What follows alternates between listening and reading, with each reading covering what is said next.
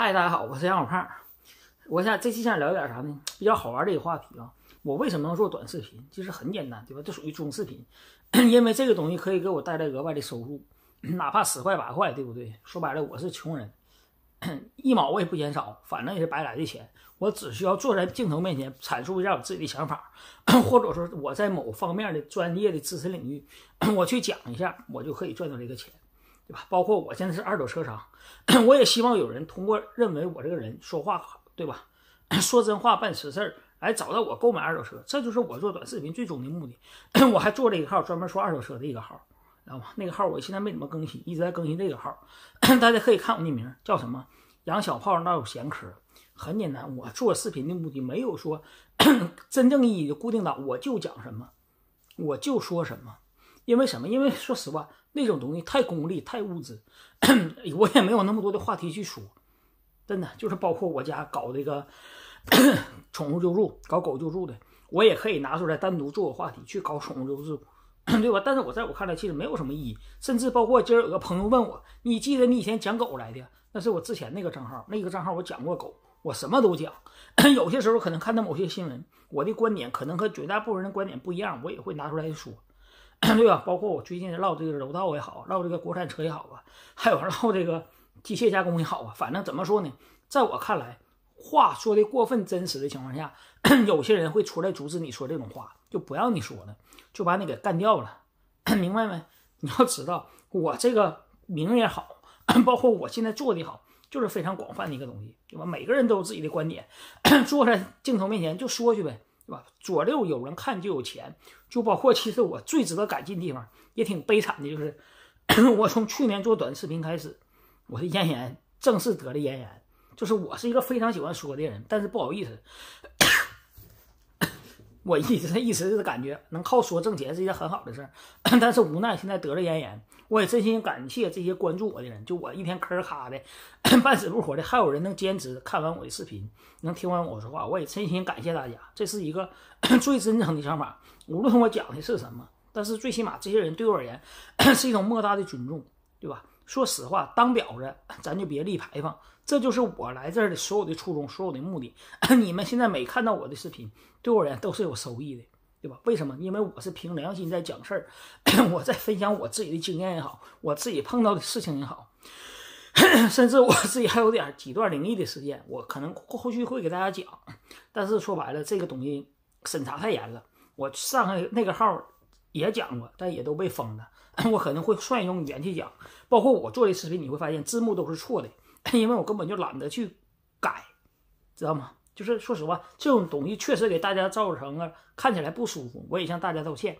我尽可能以后的视频，或者说好好做一做这个视频，就是争取一段一段剪。我咳嗽的这个镜头之后，我剪掉，好好去做一段视频，让这些更多关注我的人，就是怎么说呢？真正的 喜欢上我这个人。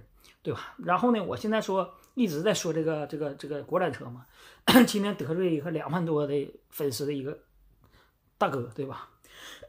我这是啥呢？无意当中看到他一个讲什么什么买合资车就有面子，我把这视频听了一下，我就发现 和所有那个无脑吹的人基本都是一个道理，都是一样的，知道吧？然后呢，我就发了一下我自己的观点。其实我没合计他能来，我一个一千多万小主播能把人整来吗？没合计的过来给我留言了。留言之后，我因为啥呢？他的观点我不赞同，对吧？那我就很多视频，说实话是针对他的一些问题我做的回答，包括我上期视频发了被限了，我现在发什么他看不到了，对吧？就拒收我的消息了。但他发的信息我能接到，我没有必要屏蔽他，没有意义。为什么呢？就说通过一件事，大家自己自己去分析，自己去了解他。那个他有一段记录，我忘了说什么一天发视频挣个千八百，我没有那么多啊。我一天视频好的时候就四五十块钱，对吧？咱小主播，咱没有那两下子，对吧？你要知道，你从他名看叫正能量说国产车，当时我看到这个时候啊，心里非常激动。正能量说国产车，那一定 很客观的评价国产车。后来我发现了，所谓的正能量说国产车，那就是国产车好叫正。国产车不好叫负，如果负能量做国产车，那就是意味着埋汰摩腾 国产车了。如果正能量呢，在我的心目中啊，那基本上不能说完全，对吧？说白了，当婊子还得有立牌坊的呢。一百个国产车，最起码在他口中九十八个是好的，最也得挑出两个不行的，对吧？要不呢太特意而为之了。就这么一个人，从屏幕从起名那天开始，他就已经想好了正能量说国产车。大家自己分析这个题目。首先，国产车锁定了一部分国产车的人群，正能量，对吧？那个 肯定是夸国产车的。现在依然有很多汽车是小白，看的只是表面这些东西，对吧？包括年轻人很愤青，对吧？你要说爱国，对吧？必须得爱国，国家什么都好，就没有不好的东西。无脑的去去实，所有人都希望自己的国家好，没有人不希望自己的国家好，能不希望吗？但是看到问题了，不去解决，一概而知，拿嘴去捋，就说白了，如果没有人站出来。提出国产车的各种不足，他不会去进步。进步啥呀？对吧？就卖配置就完事了。我车我都不需要考虑三大件的，能开走就行，对吧？现在这车卖不动了，我再加点上配置，不行，我再加点上配置。配置是车里边最好加的东西。说白了，加配置有手就行。但是你真正功夫调变速箱、调发动机、调底盘悬挂那玩意儿是需要核心能力的，那玩意儿有手。不行，还得有脑。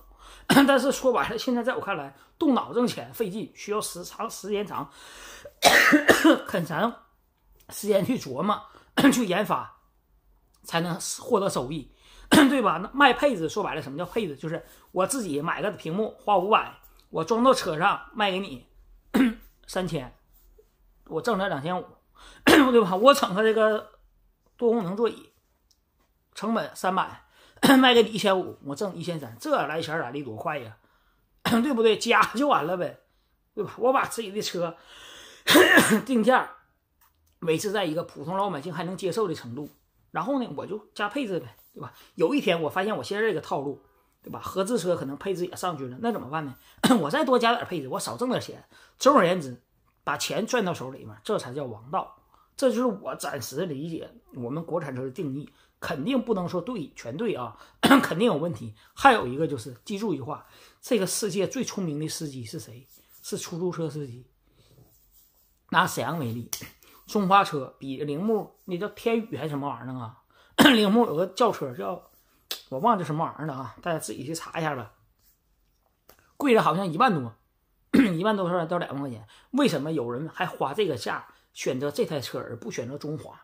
他知道出租车司机是最有权利评价 车的，最起码他开过的车，那一年咱说一百来万公里、七八十万公里，太正常了，对吧？没有司机是傻的。为什么伊兰特曾经在中在沈阳，对吧？出租车干这么多年，我们都说韩国车这么好，不好那么不好，为什么伊兰特干这么多年，对吧？帝豪也有，比亚迪也有，我都看过，中华我也有。但是你看一看马路上，为什么这些低价的？国产车没有人去买，出租车司机为什么不买，反而选择这些稍微贵一点的东西？大家自己去考虑，自己去想，对不对呢？好，那个今天说这么多，感谢大家观看，谢谢大家。